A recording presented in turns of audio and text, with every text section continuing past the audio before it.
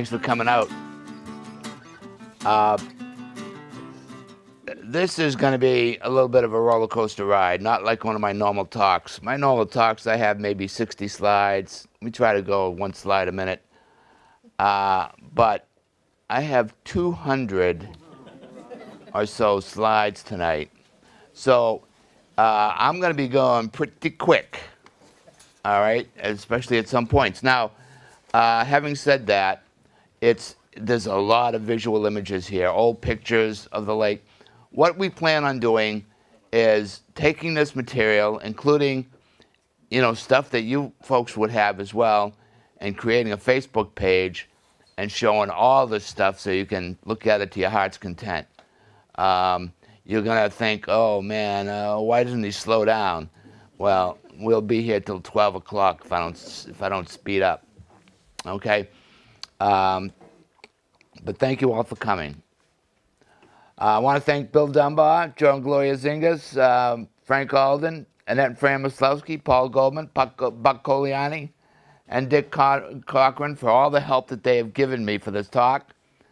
I want to thank EKG Downtown for some technical support and uh, the pictures that you saw uh, before coming in. Um, Noah and Tammy White, drone photos. They're fantastic. Hopefully, we'll get some of those on the site as well. In the late 1930s, beset by a scandal in his administration, Marlboro Mayor Ingalls came to the reservoir on a winter night, cut a hole in the ice near the present boathouse, and jumped in. His body was found the next day. Part of the history of the reservoir is the relatively small number of people who have lost their lives here. We take a moment of silence now to remember them.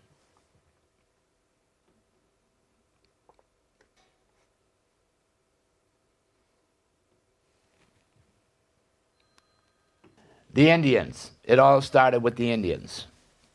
From the time that the uh, English came, there were three distinct periods that we understand. Before that, it's like the prehistory of the Indians. We don't know that much about it. But in the first period in Marlboro, there was Wipsipnicki, the original Indian village. That lasted until 16, about 1620. There was a terrible plague here, okay? And from then until 1654, you had empty land. There was nobody really, there was no village here. There might have been Indians passing through, but it was pretty much empty land.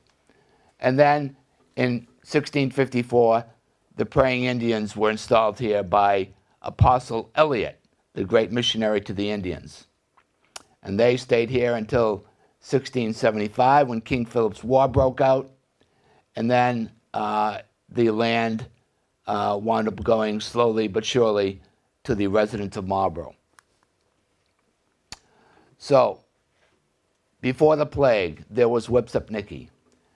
There had been a tribe. They were they were understood to be Wamesit by tradition. Uh, the Wamesits were uh, primarily settled up near Tewksbury, uh, Route 38, 495. Uh, there's an Indian statue there that was the Wamesit, uh, the primary Wamesit location. But they also came down uh, as part of the the Merrimack water system they came down as far as the Assabet and into Marlboro. John Bigelow, the uh, engineer for the city of Marlboro in the 60s, was a uh, great um, historian of the 20th century. He said that the Indian settlement of Wipsipnicki was at the top of the hill on or near Hosmer Street. The settlement there was mostly destroyed by the Great Plague that came around 1617. So they were pretty much wiped out. The Indians of the colonial period called it Wipsipnicki, which could be translated place abandoned because of disaster or pestilence. And the English called it whip suffrage. All right. So on the earliest, in the earliest discussion of the Sudbury residents coming to Marlboro, they talked about moving to whip suffrage. Okay. And um, as far as I know, in, in, all the reading that I've done on early Indian life uh, in Massachusetts, it is the only place with a name associated with the plague. So it's kind of unique in that way. They didn't call themselves Wipsipniki. The Indians that came afterwards called it that. And uh, Bigelow said that uh, it was a place cursed. The Indians never went back there. All right? And it remained cursed, so much so that all the hills in Marlborough were named except Hosmer Street. Uh, it never got a name because it was cursed. So then after that was empty land. In this period, the land is abandoned. Uh, there may have been some Indian activity here. The Nipmucks probably came in and, you know, came through, camped here or whatever, but there were no, uh, there was no Indian village. I couldn't find any deed of Marlborough land sold to the English, uh, such as you had up in Lancaster. Uh, so it must have been considered empty land, both by the English and the Indians. Nobody claimed it. 1651, Apostle John Eliot establishes this first native town in Natick. So Natick was entirely Indian in, its origin. Uh, after a while, they started to grow and grow. So a number of the Indians appealed to Eliot for more towns. Give us more towns. Well, you know, we're growing. Um, and so Okemekimissett was established in Marlborough around 1654. And the Natick Indians were a mixed group. They were just converts.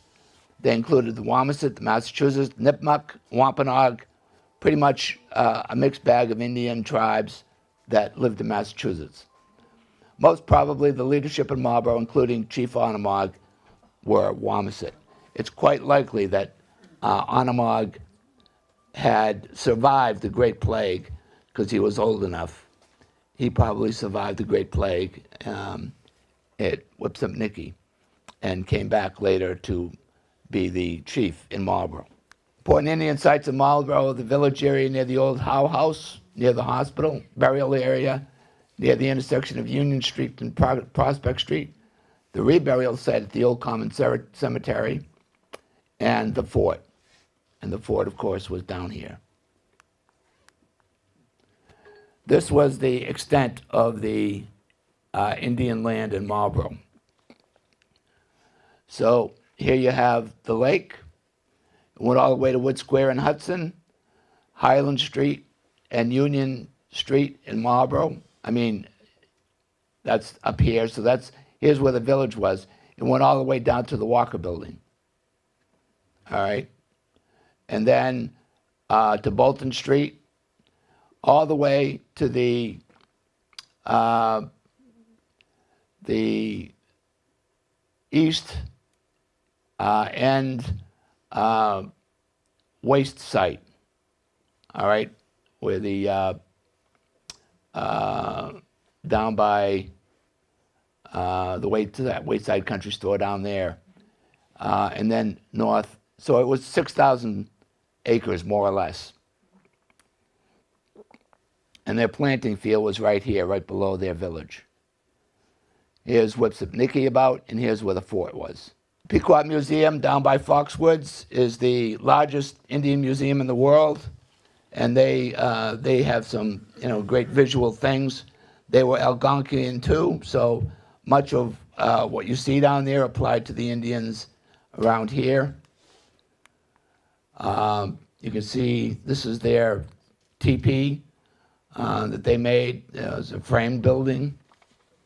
Um, the uh, Indians, the praying Indians, would not have dressed like this.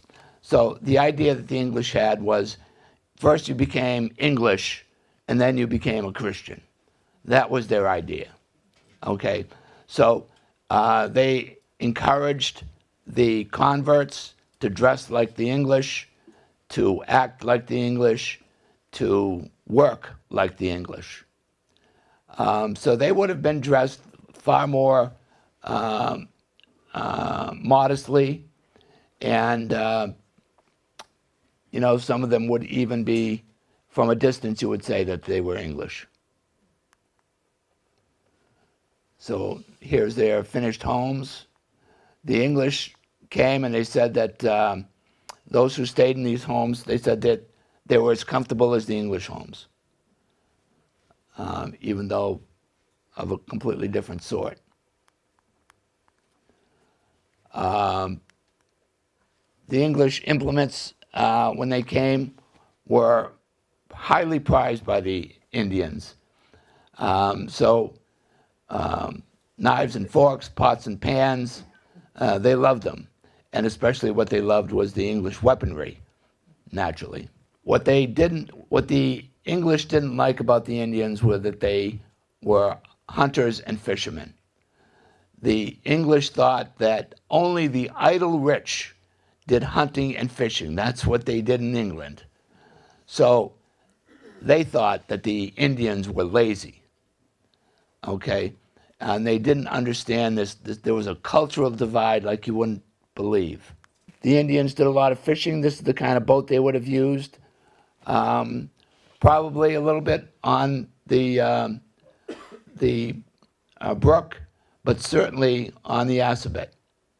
Uh, the Assabet, um, John Bigelow said, was translated the place of nets. So they would have done a lot of fishing. And in, insofar as where the falls are at the Narrows, uh, they would have done a lot of fishing there as well. This is the brook down at uh, Wayside Inn, and the Fort Meadow Brook would have looked very much like this in the period of the Indians and up until they um, dammed the brook. The women of the tribe would fish. That was their primary, I mean, not fish, they would uh, plant. So the planting field uh, would be theirs, and they would do uh, almost all of the farming. Now let's talk about the fort. Forts were used to protect harvests from winter and, and from enemy tribes. Uh, the Mohawks and Tarratines primarily were their, their big enemies. Some likelihood that the fort was rebuilt from the days of Wipsipnicki. All right, um, I don't think that it's necessarily a coincidence that both Hosmer Street and uh, Bolton Street feed right down to uh, this area. Uh, was the fort of English origin? I can assure you that there's no possibility. The English had limited resources at that time. This was empty land. There was nothing here to protect. We know that when the English came in 1660, there was already a place called Fort Meadow. And this was before the English built their first house. So the only fort they could have been talking about was the Indian fort. There was an English garrison near here, but it dates from after 1700. 1700 okay? So um, the name Fort Meadow comes from the Indian fort. So this is kind of what a fort might have looked like. Um, you see the vertical structures and the homes built within it. You see the Indians um, and the, the kind of structures, but the height. This all would have been about what you would have seen.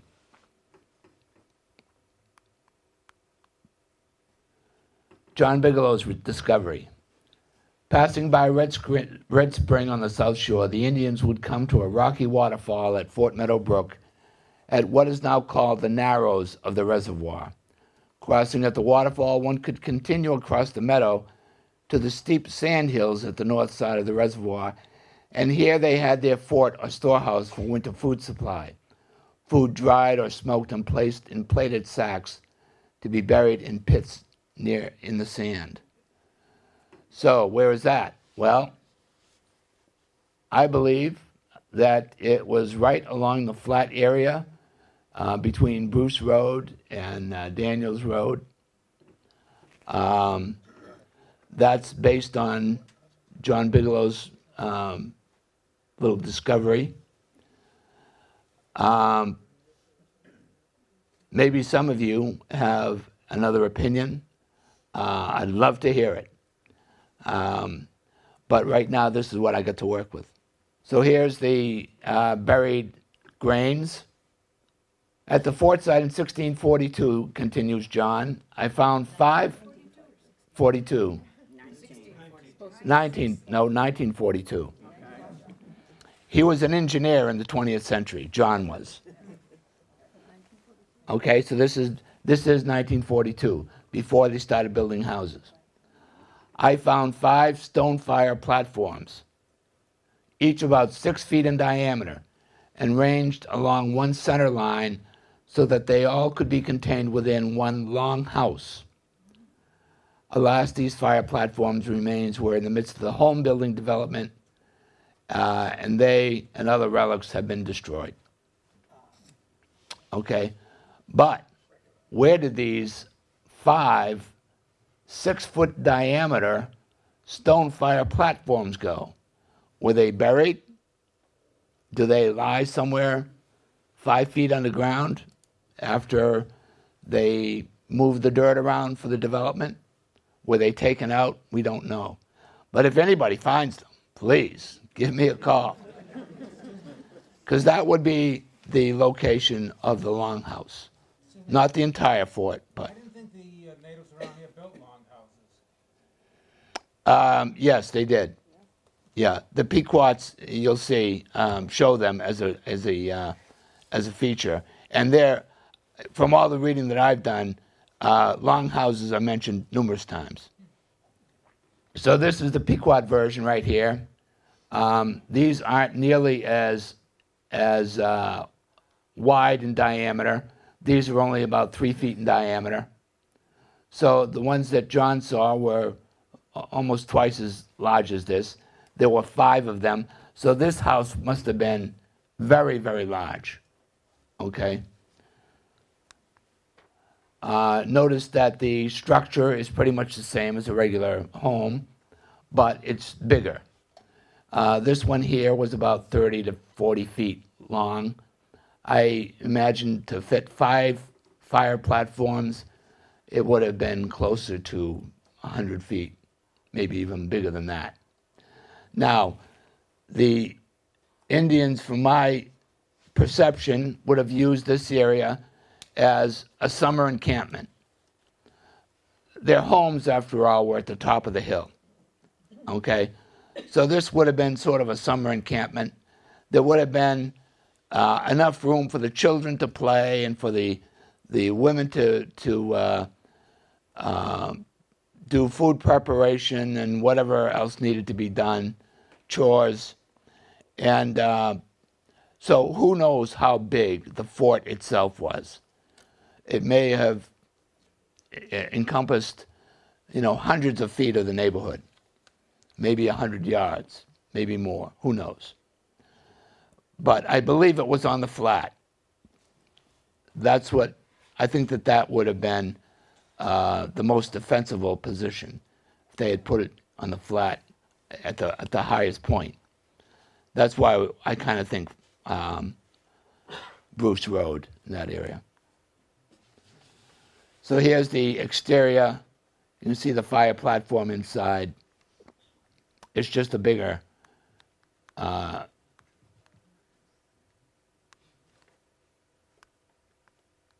come on.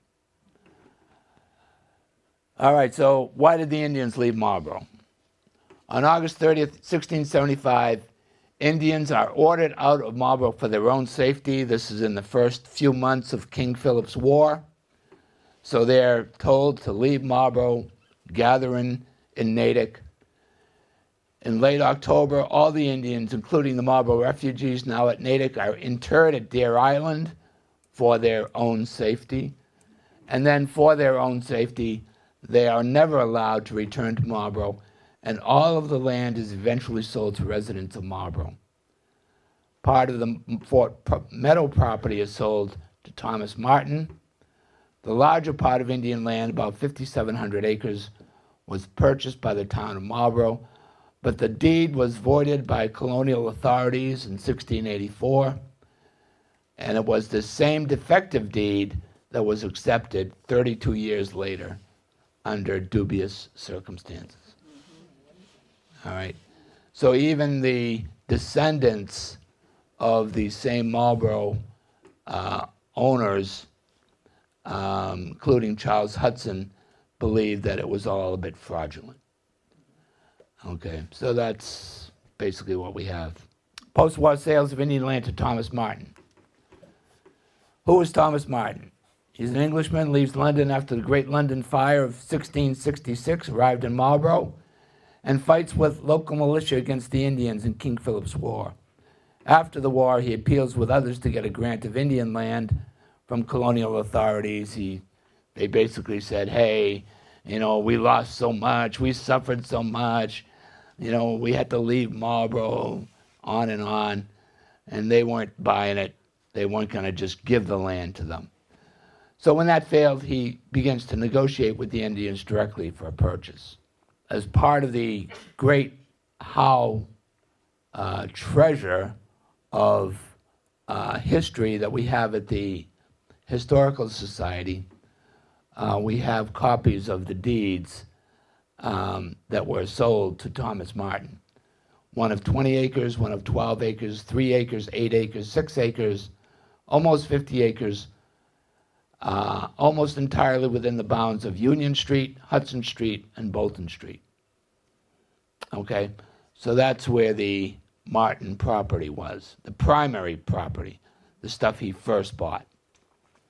So his daughter, Dorothy, marries into the Howe family.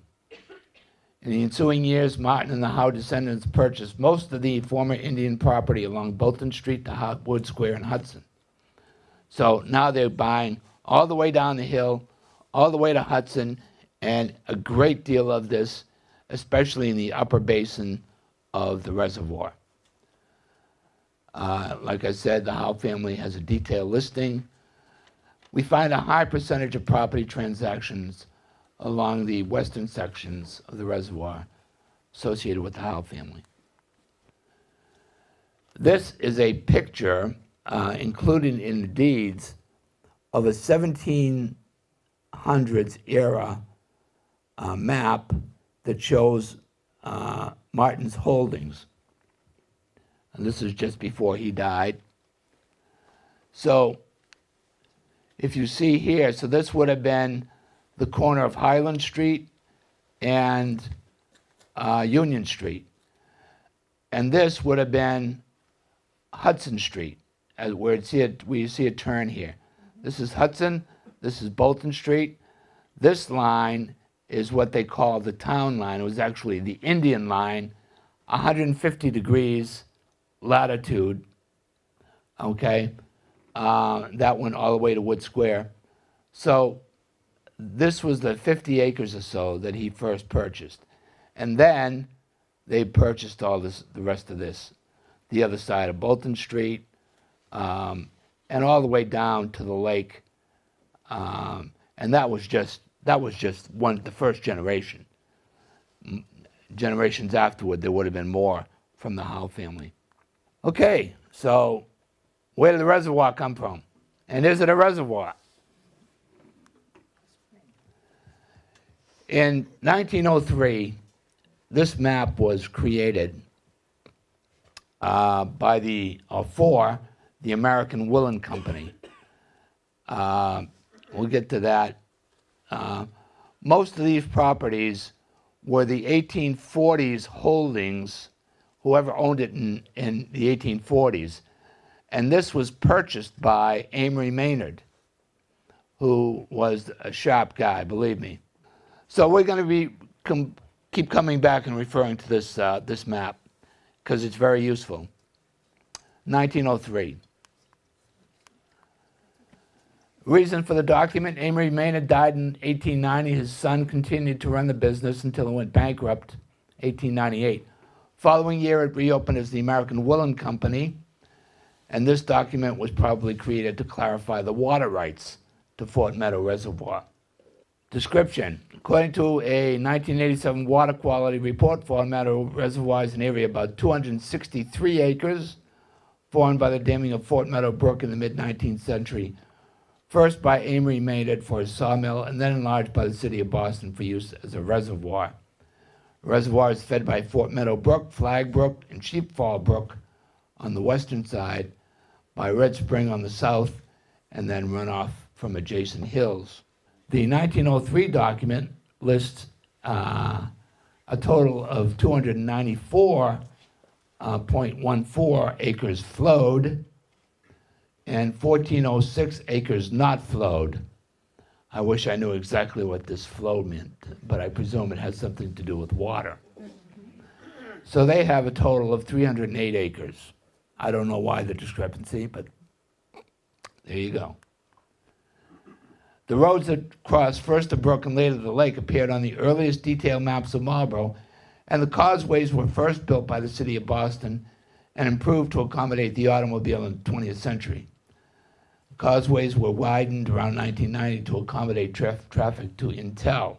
So here's one of the earlier photos. You can you can pretty much tell. Now this is colorized. I, I find it interesting. And they kind of colorized this in photo. Here's another one. It shows a lot more um, trees and shrubbery. The fence is larger. This one is interesting in that there's no almost no shrubbery on it. I got this from uh, from yes, Bill. Thank you. Um, and uh, my question is: Is this one of the earliest depictions um, that we have? It may be the oldest. Um, was it built right as soon as the causeway was built? You know, it was painted then. The Cunningham Farm, which is at the corner of um, Lakeshore Drive and Reservoir Street, uh, that barn and that house um, had had been there for, for very very long. Uh, so the question is: Is this the oldest depiction we have of it? Maybe. This this photo, I, I love it because down here it says sunset at Fort Meadow. Well, think about which way we're looking here. It's obviously a colorized photo. I guess when you're colorizing the photo, you can put the sunset which, whichever direction you want.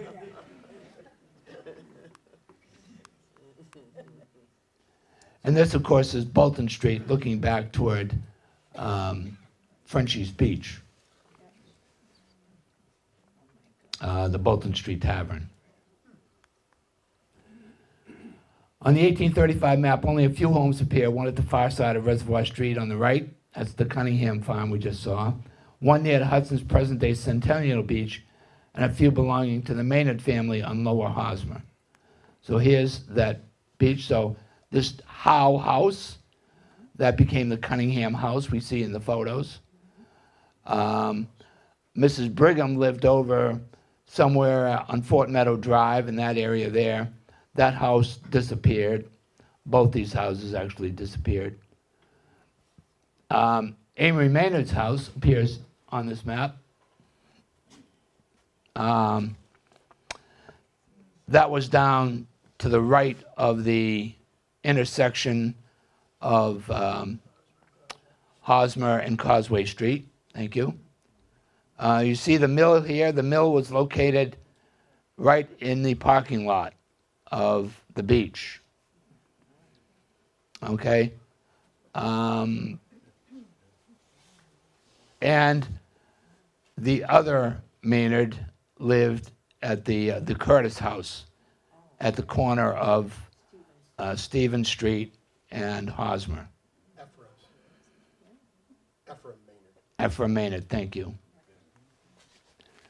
Amory Maynard and the making of Fort Meadow Reservoir. In the 1660s, John Maynard operates the first Marlboro grist mill on Mill Street, uh, down by Maple Street. This is abandoned because, probably because of poor water flow. In 1700s, the Maynard family operates the grist mill on Fort Meadow Brook. The mill appears on a 1794 map of Marlboro. The mill was on present-day Shea Road in Hudson. At some point in the late 18th century, a sawmill is added further back on the brook at the site of the beach parking lot. I, I was looking frantically for a picture or a drawing or a map of the um, the mill pond. How big was it? And I suddenly looked at this map and I said, well, there it is. Right there. Notice how different this picture of the reservoir looks. This is from 1853. Here's the sawmill right here. And the mill pond would have taken up a large part of the parking lot. Okay? And there was no Memorial Beach then. The dam, see this hard line here? That was the dam. Okay? And this, this thing here was there before the dam. The mill pond was there before the dam was. And it wasn't very much of anything. It was as big as the parking lot. I didn't need a very big um, pond for it. So here's the 1835 map, a blow up of this map. So again, you see how the things flowed in that area. The lost road to rock bottom. Or, why did they put the spillway there? So let's bring this together now. There were three maps 1803, 1835, and then a modern map. Okay, so you'll notice that on this map, if you came down, here's Stevens Street, right? Hosmer Street comes down, and it takes a quarter right turn to the right. That's this quarter right turn right here. All right? As you get down to the bottom of the hill, you take you, you kind of go right down Hosmer. You see the same thing here? It goes right. But it also goes straight. All right? So where is that? If you go straight here, you're in the water. Well, guess what? That's where it is. It's underwater. Here's the spillway. Why did they put the spillway there? It's out of place. First time I looked at it from the water, I said, makes no sense. You know, they would have they got to go over water to, to, to, you know, do any maintenance or uh, changes. Why is it there? Well, here's the reason. Here's the 1903 map overlaid a Google map. Okay, so um, here's housing down here. Here's the beach. Okay, and here's the road that now where's rock bottom? Anybody know? Yeah well you're cheating. Yeah, you should know that anyway right? Exactly. It was at gleasondale um, and rock bottom why would you go to rock bottom well eh, there was mills there first there was a sawmill there and then after i guess uh, maine had put them out of business uh, they built a uh, they built a woolen mill there. It was one of the oldest woolen mills in the country, from what I understand. Uh, so the farmers would bring their wool down there uh, for processing. So Rock Bottom was a favorite spot to go. And that was one of the ways you, you could go from the east end of Marlborough. And this road went kind of back here. So here's the spillway. Well, that answers the question. It wasn't in the middle of nowhere. It was the end it was at the end of an access road. Okay? They did have to reroute the road, which they did by putting it between um, Amory Maynard's house, which was over here, and the sawmill. They went right through his property and rendered his property valueless. But he didn't care. He was in Maynard. He didn't care. He didn't care. So, but here's the road, the lost road to rock bottom. And here's how it would appear. And it, notice that it, it catches Causeway Street down by Lower Road in Hudson. So, what are these houses? Well, I was curious about that. I said, maybe there's, you can see parts of the road still. So I went down to Lakeshore Drive in Hudson, and um, the um, commission there, I guess, part of the commission's work is they make these areas pretty. So this is the spillway stream, and they put in rocks down here and a little uh, a little walkway. This goes to Centennial Beach in, in Hudson. So I said, okay, well, see what I can find. I crossed over. Here's the spillway um, going behind the house. And sure enough, here is the rock wall that would have been along the road to rock bottom. It's still there. And you can't see it here. Well, just a little bit you can see up here is the spillway. It lines up with the spillway. If you, you know, look right down the stream, you can see the spillway very clearly. All right, back to Amory Maynard. Apart from the mill, Amory Maynard is involved in construction, becomes acquainted with William Knight of the Saxonville, New England carpet mills, where Maynard builds a factory for Knight. The Massachusetts Historical Society, a very early, early regional reservoir, was created in 4748 along with Lake Whitehall in Hopkinton by the city of Boston, which had been threatened with a lawsuit as a result of its 1846 diversion of water from Long Pond, now Lake Cochituate, in Wayland and Natick for the Boston water supply. The intent was to use the, res- the reservoirs to build up a reserve supply of water during the wet season. Total cost to the city of Boston for the Fort Meadow Dam and reservoir was $43,170. Now, I'm going to tell you, I've seen all kinds of numbers associated with this purchase. 100,000. uh, Well, this is the number 43,000. And that's for the building of the dam and the purchase. Okay? So, where did the money go? Let's try to make sense of that. William Knight ran three thriving carpet mills in Saxonville, which were suddenly rendered useless by the loss of water power from the Long Pond project. He was given 150,000. He was 150, the largest paid by the city of Boston. To a more minor extent, Amory Maynard's mill privilege on Fort Meadow Brook was affected as well. The city paid him 21,000 for land and water rights at both Fort Meadow and Lake Boone, where he also ordered, had water rights. So, I'm going to tell you this is the official story, but I'm going to tell you the story is much bigger and deeper than this. Amory Maynard was a shrewd man.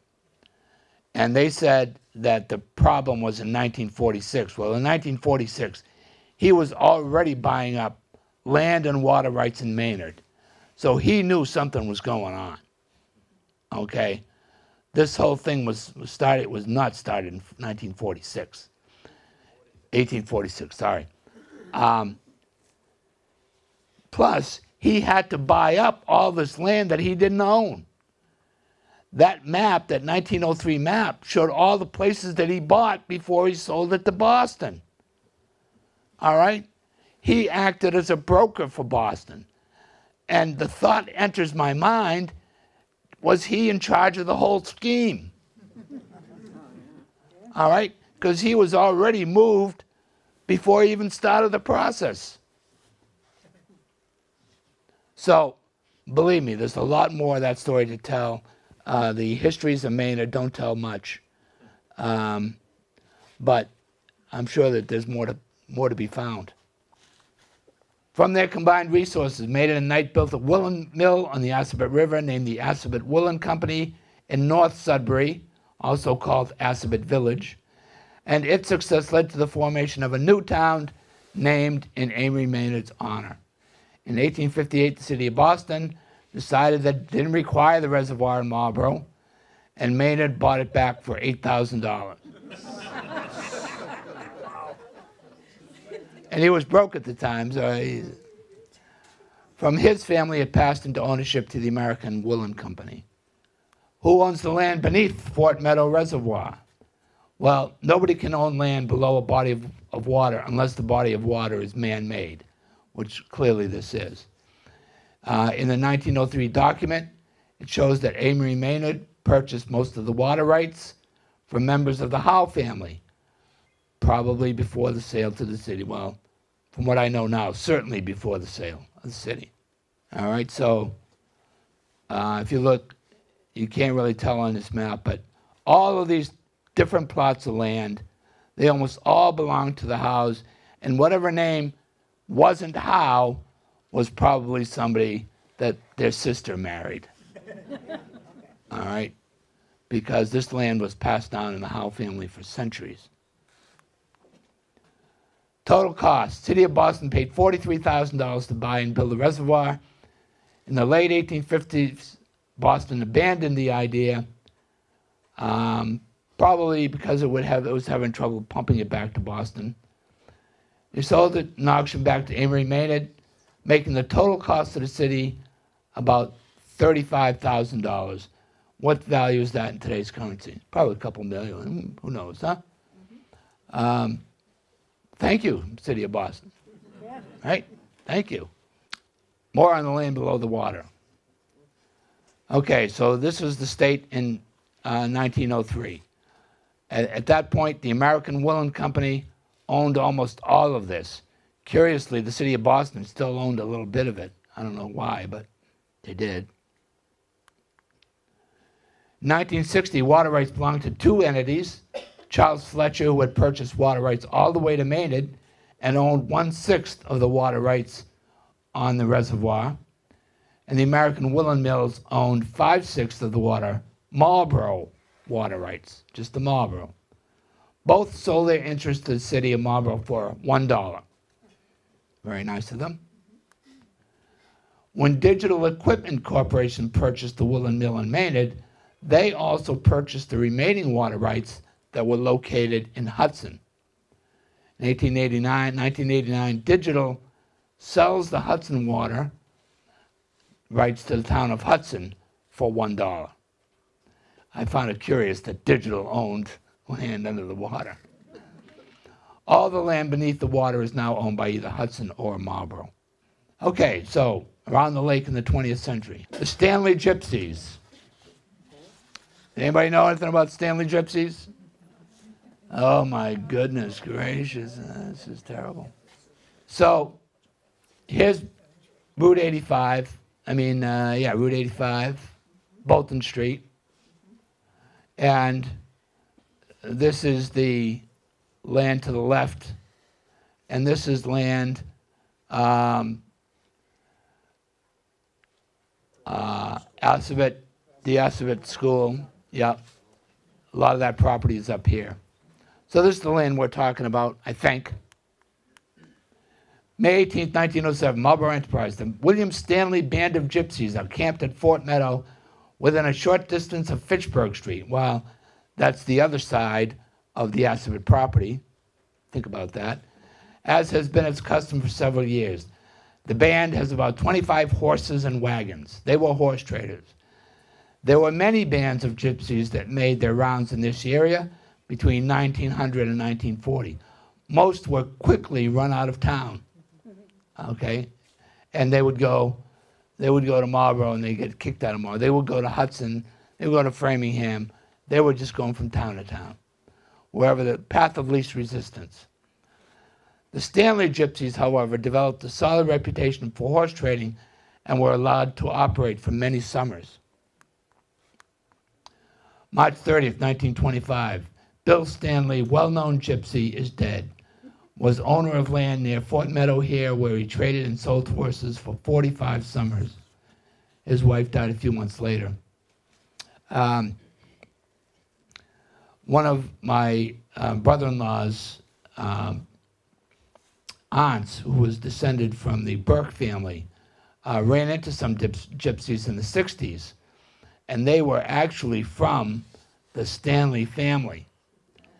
And, uh, you know, the, much of their history was from around here, so they were curious about it. And they told her that after the mother and father died, this area was considered to be cursed.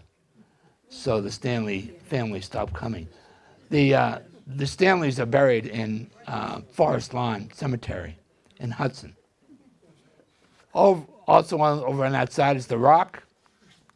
Okay, so the idea is, you know, the kids paint it, they take pictures of it.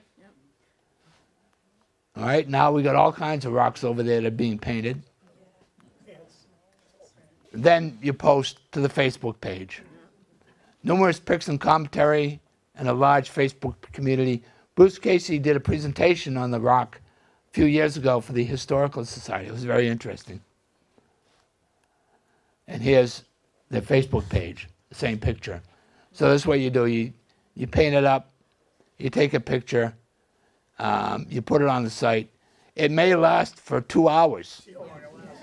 You know, this one there has been there for quite a while, um, but you know, it could be there for two hours. The Grove. So this is Bolton Street. All right, and this is the Grove. So here's the water line and this is the Grove. Um, and in 1903, it was owned by the Catholic Church, formerly Freeman Howe, of course. Sometime near to the turn of the century, 20th century, Father Lowney of the Immaculate Conception Church, probably with family money, purchased the stretch of land beginning on the north or Hudson side of Bolton Street, extending to the east contained swimming area, trails, picnic area, also suitable for boating. Father Lowney donated the grove to the Immaculate Conception Parish for use as a picnic area, supposedly with the stipulation that it be kept for 100 years. And I believe that on the 100th anniversary, it was sold to the city of Marlborough. For many years, it was known as Father Lowney's Grove. Now, of course, belongs to the city Nice sign there. There's a canoe access, boat access there. Pet, it's great for the walking dogs. And um, some beautiful trails. Frenchie's Beach. Okay, so where are we? Here's here's Bolton Street. Here's Reservoir Street, and here's the area now occupied by the Bolton Street Tavern. And it says LaFave owns it, formerly Edward Smith, but LaFave owned it in, in 1903. It was owned by the, okay. In an online article in 2014 in the Wicked local website, the life of Melina Millie Druin was retold. She had died at the age of 104 in Hudson and had been the owner of the Rec Lounge. Her mother was Marie Lefebvre. Okay, so that's why uh, Melina Millie Druin owned the property. It was from her family for at least back to 1903, who knows how much earlier. And because the family was French Canadian, it became known as Frenchie's. Family owned the Lakeview restaurant and a hot dog stand in 1942, allowed people to swim at the small beach, which became known as Lakeview or Frenchie's Beach. In the 60s, the restaurant was destroyed by fire and was rebuilt as the Rec Lounge. From 1977 to 88, it operated as Keepers 2. Sometime in the 90s to 2012, it operated as the Piccadilly Pub one of 13 locations, and now operates as the Bolton Street Tavern.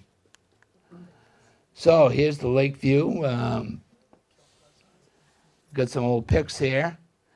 There's the hot dog stand, taken from the beach side. Uh, this, I believe, is Frenchie's Beach. Uh, and here's the interior of the restaurant. Very modest little affair. um, taken from Bolton Street. There's Millie, I believe. Now, I, I believe that this was the restaurant and not the rec lounge because I don't see any alcohol there. But maybe I'm just getting old. I don't know. No, that's the restaurant. Yeah. Keepers two. Says up there 77 to 88. Piccadilly. Bolton Street Tavern. And no swimming. Boo. Okay, now let's look at the older homes. Cunningham Farm. This is the where the Howe uh, house was located in uh, the 1835 map. Here's a beautiful picture taken from Addition Hill, I'm sure. Um, so here you can see the barn, the very large barn that sat in back. The uh, from what we can tell, the barn sat on the near side of Lakeshore Drive. Lakeshore Drive at the time would have been kind of a driveway. There's another house back here, so that probably dates this photo. Um, and we have this, I think that this must be a, a boathouse, right? And there's electricity, so it can't be that old. Here's a picture of the Cunningham Farm from uh, the Lakeshore Drive side. So here's Lakeshore Drive right along here. Here's the barn. And you can see the fields and the stone walls. So this is taken up the hill, from up the hill somewhere. See the causeway, both causeways actually. And this is the 1939 overhead um, picture that the city took. Uh, so you can see the farm is very pronounced over here. Okay, the Hapgood house, or whatever happened to Amory Maynard's house. So this, I believe, was the location of Amory Maynard's house where um, Hosmer Street, which is this side, on the far side, and I was taken from Causeway Street. All right. And notice you had this gateway almost. I think this is all that's left of Amory Maynard's house. Okay. The house was further back than this, though. I believe it was considerably further back. But there was nothing between his house and the uh, sawmill. All right, there was no road or anything between. He would just walk across his yard. This is the Lewis Hapgood house, currently uh, owned and lived in by Frank Alden, who I've become very friendly with. Uh, we've shared a lot of war stories. So this is on Hosmer Street and has a storied history and a lot of mysteries, believe me. This is the house as it appears now. Uh, this is the barn that had burned down, and uh, this is all that's left of the barn. This is the back end of the house. Notice there were extensive uh, changes made to this house. This is at 7, 719 um, Hosmer Street. Right after Miles Standish, huh? Yes. Uh, there are two houses after Miles Standish, and then this, this estate. There's another outhouse, actually. This is actually a house that you could live in. Has an enormous um, chimney there that, um that will heat the whole little house. This is the cellar, and this is what got me thinking. Who would build a house where the foundation sat down here and you put some bricks in and put the house on top of the bricks? Who would do that? Okay? Who would do that? So I looked at it and I said to myself, self, that house was moved. Okay? Um, now, I'm going to ask you, don't take my word for it, because I don't know anything about colonial houses. But I looked at that and I said, I certainly wouldn't have built a house like that. But here's the thing Amory Maynard was a house builder. As much as he was a, a mill operator, he had 60 men in, under his employment making houses. Um, the industrialist of his age would put in a factory, and then they would have nobody to work in the factory unless they built them houses, which he did. He built most of downtown Maynard, okay, for his workers. And before that, he was building factories for William Knight. He would have been able to figure out how to move a house in no short, short order. Now, where did the Maynard house go to? It ain't there now. Um, a relative um, married into the Hapgood fa- family. They married Louis Hapgood.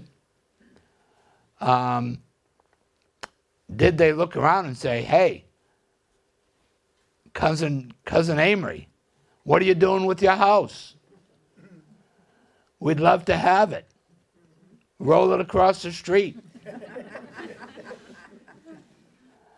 now I can't say for sure that that's what happened here, but it's a beautiful home. Um, and they, the other home disappeared. So did they take this house and move it to a house, an area that had a smaller house, and just go with that? You're saying the Alden House is the, could be there. I'm saying that the Alden House um, could be the Amory Maynard House. Um, and I can't find anybody who is telling me, no, it can't be. Which makes me feel good, you know what I'm saying? but I don't know. It's just, there's a couple of mysteries here. The uh, Massachusetts Historical Society came down and they said, we can't make any sense of this house. That's basically what they said. Uriah Ephraim Maynard House, also the Curtis House. Built around 1800 by either Uriah or Ephraim Maynard, cousins of Amory. Has seen extensive renovation which confuses the question of its origins. All of the houses like down there are like that. It's been owned by the descendants of John Curtis, the superintendent of the Rice and Hutchins shoe factories for most of the 20th centuries, and their properties were orchards for most of that time. During the war, German prisoners of war from Fort Devens w- were used during the apple harvests. How's that, huh? A little factoid. So- So here's a, uh, a view of the house from the water. Obviously now there's too many houses in between on Paquin Drive. But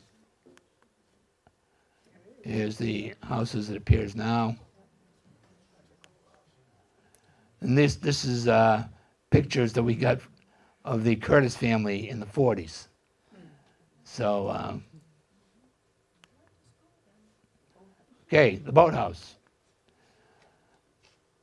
Talk about some deeds. Susie Morse, widow of Harold Morse, sells one and a half acre portion of the 11 acre plot her husband purchased from Thomas Hurley to St. Mark's School for a boathouse for consideration paid on Reservoir Street, said this the, in the deed, formerly known as the road from Marlborough to the village of Rock Bottom. It says that on the deed. Fast forward 2003. So this was in 1928. Okay, so it's it was, they owned it that long. 1928. 2003, St. Mark sells the land and the boathouse for $400,000. So for consideration paid means they were given the land, and they sold it for 400 grand. Not bad.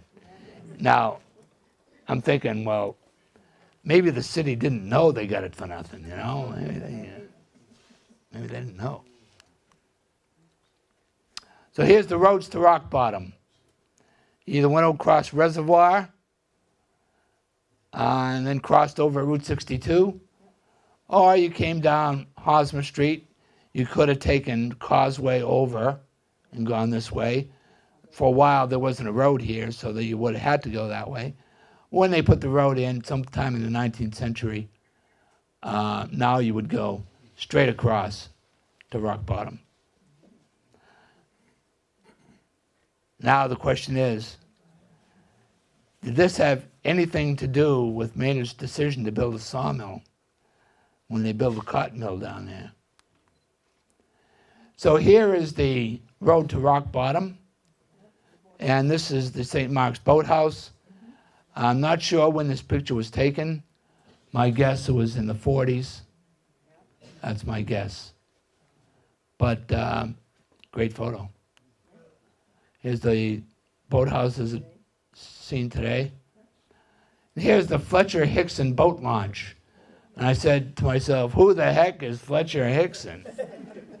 well, he was one of the commissioners. Of course, you would know that, and I would not. Um, and uh, he was a long-time commissioner, I guess.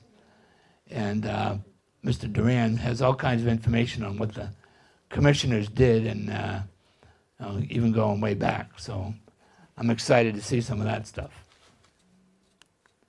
Red Spring Road. The Morse family purchased all the property along Red Spring Road between 1910 and 1913. Who was Harold Morse? Harold Morse was one of the early mayors of Marlborough. Uh, most, um, most importantly known for his uh, efforts to get the uh, get a large sum of money from Carnegie for the building of the library. Okay, so he chased after him. Actually, never met Carnegie, but Carnegie heard that he had kept coming, and he was impressed by that. So he says, "All right, you can have the money." So uh, he gave thirty thousand dollars, and then people in town kicked in some money. Um, he was also the head of the enterprise, so he was very influential. So, 1910, he buys a plot from Elmer Howe, another from Irving Howe, 1911 from another plot from Elmer Howe, 1911 from Thomas Hurley. Now I'm curious about this, of course. I made up a story in my head. 1913 from Theodore Temple. I know that Theodore Temple was related to the Howes. Um, probably his mother was a Howe, I guess. All for $1 and various considerations. Not a bad haul. He owned all of Red Spring, including uh, the new properties that they uh, later turned around and sold um, up on Stephen Street for the small development up there, Worcester Road or whatever that is. Um, so they made out. Now, I'm going to talk about some of the historic homes. In the 1903 um, document, you see a bunch of dotted, a bunch of dots where um, obviously cottages were located. Okay, I think there were about six of them.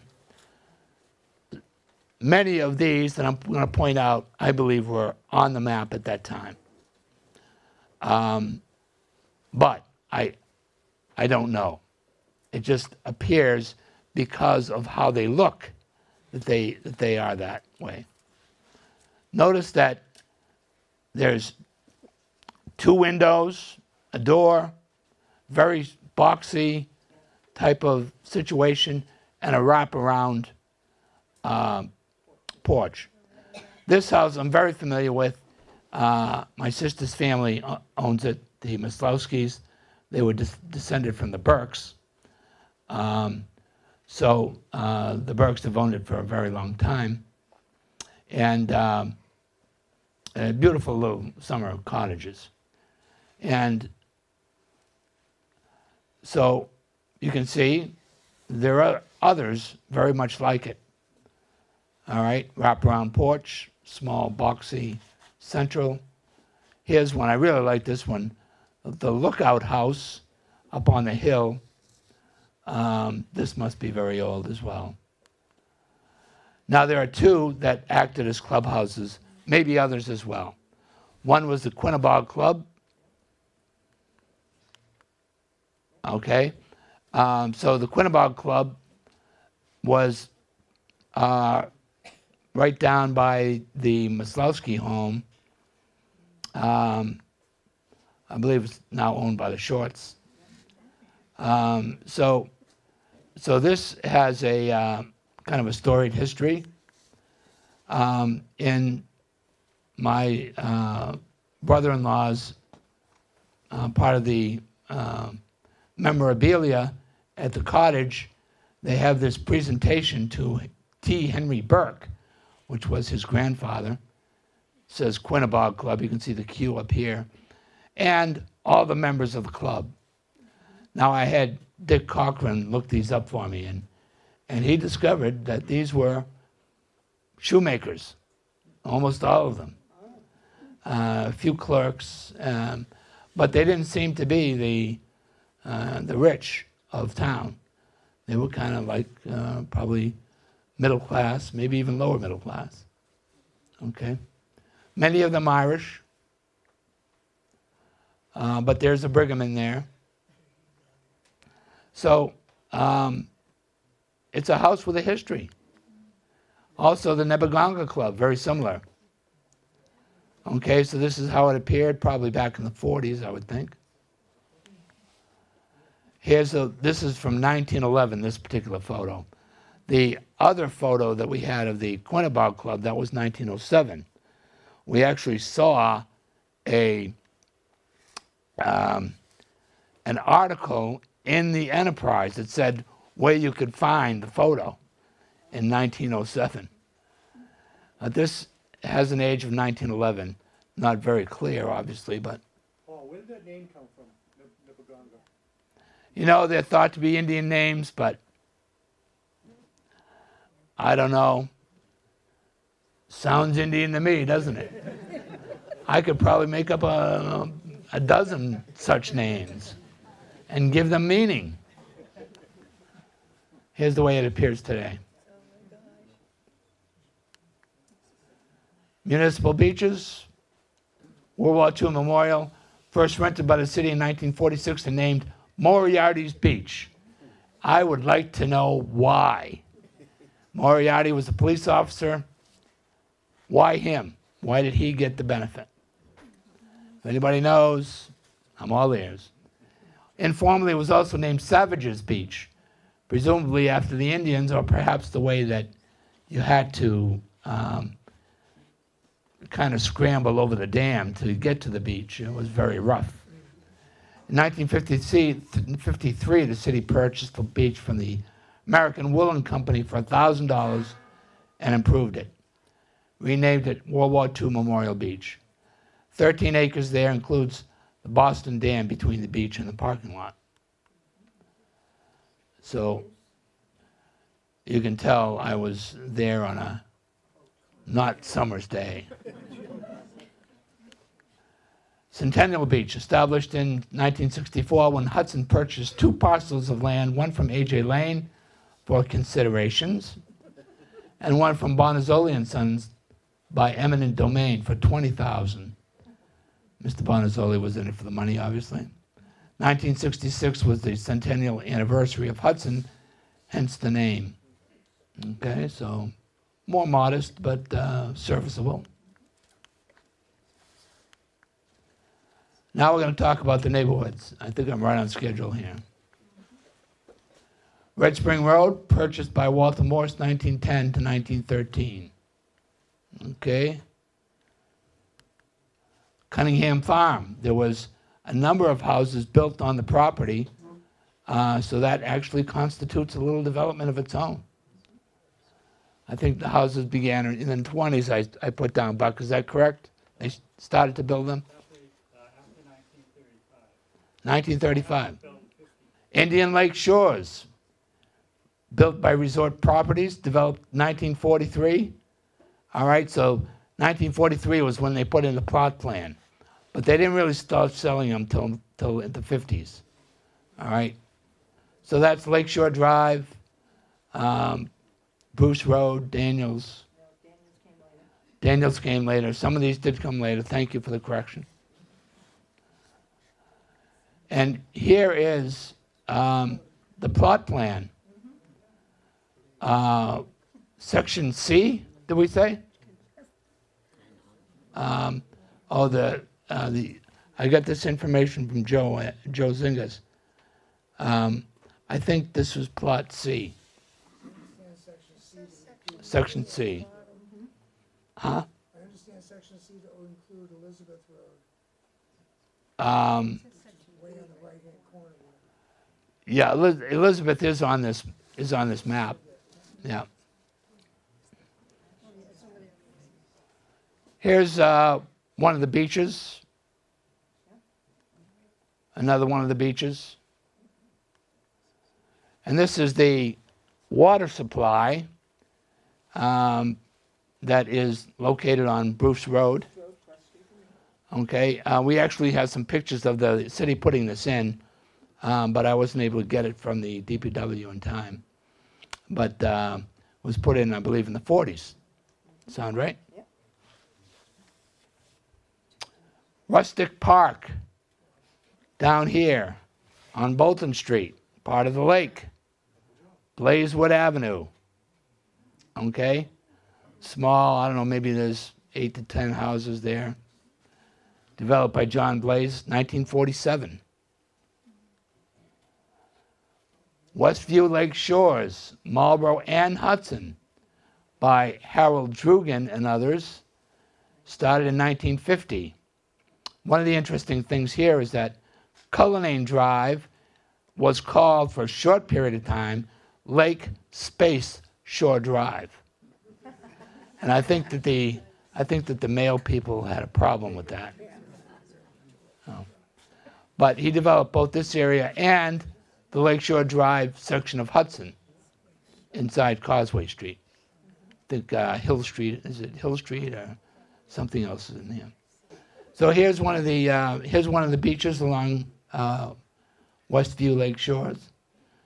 There's a few of them here. Um, neighborhood beaches are for benefit of the, the uh, people within those areas. Um, Reservoir Estates, former property of the Curtis family, developed 1969 by Richard Leduc, Paquin Drive. Okay, so that's one of the later ones. These are all kind of by the age. Miles Standish Estates. Uh, I have a commentary on this one. This really isn't that close um, to the uh, to the water.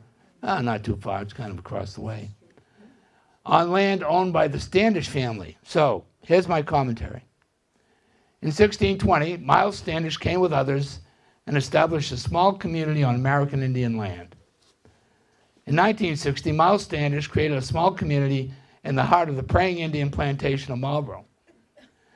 The land he developed was on Spoon Hill Avenue, Sixteen sixty.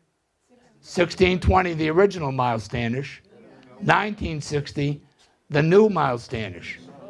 And he lived in the Lewis Hapgood house for a time and developed Miles Standish Estate. I thought Miles Standish Road was named after the first guy.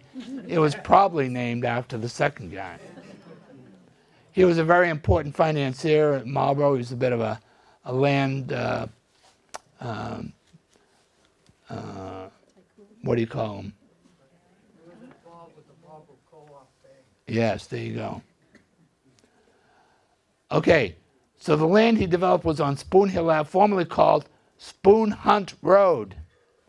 John Bigelow believed it was named after the important Indian Espoonant family. Uh, and I could probably talk for an hour about the Spoonit family. They were very important. Um, and what do you know? Spoon Hill, Spoon Hunt. Because of its proximity to Hosmer Street, it's possible the, the, that Whipsip Nicky was in that neighborhood. Okay, so here's, you know, um, part of the Miles Standish. Notice that there's a hill here. Um, Frank Alden, who lives in this house, 719, said that this hill uh, was above these houses in 1960. Okay, so they had to move all this dirt to make this house. Water's Edge, the Morse family. So the Morse family took a piece of their property above Red Spring Road, and um, Worcester Road is the one that goes around Worcester Drive. So there's a number of houses here, so they developed that property. Fort Meadow Ski Club, probably the one of the most important um, recreational clubs ever to be in Marlboro. 1954, a small group of teens began water skiing on the lake. 56, a club was formed, dues collected, officers elected. All the officers were teens. In 1959, the club incorporated. Because of that, they had to get adult officers, and they began to sponsor large scale ski shows at Fort Meadow and other lakes in the region. Boston newspapers were used to help sponsor and publicize the shows. Dick Curtis became president, and the Curtis Boat Launch was used to store equipment and provide a base of operations. So here's a ski club. Sorry, I'm not going to give you time to name everybody. Here's where the boat launch was. Um, New England water ski, open water ski. Um, don't see a date on this, but it was late 50s at Memorial Beach. Notice this thing here largest active water ski club in America in Marlboro. Can you imagine? Huh? I just. Amazing. So, says here, founded in 1954, that's when they did start. And the, the uh, board of directors, Curtis. And here's the boosters, so the people that were funding it. And I have a bunch of these pictures that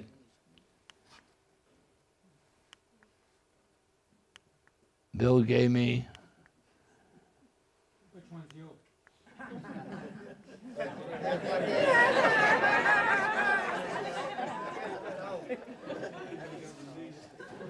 Obviously, a, uh, a Mexican theme that year. Here's some really old boat pictures that they had. They had a, a boat parade, and they recreated the parade, I believe, in the uh, uh, more recently. A lot of fun to be had here. In the late 60s, interest began to decline as the founding group aged out and began having families. The Curtis family decided to relocate, and a developer built homes on Paquin Drive and the former Curtis family property and location of the ski club boat launch. Uh, other locations for the home base were tried, but uh, were unsatisfactory. So over time, the club activities were curtailed, and it's no longer the largest in America. Invasive species, everybody knows about. They're still around. If you go around the beach, there's pockets of them everywhere. Here's um, Billy Dunbar with uh, a story some years ago on uh, the great clam in- infestation. So you can see the clams he's holding in his hand there. Asiatic clams. So occasionally one of these will come up and they have to clean it out, as you know. The end. Thank you for coming.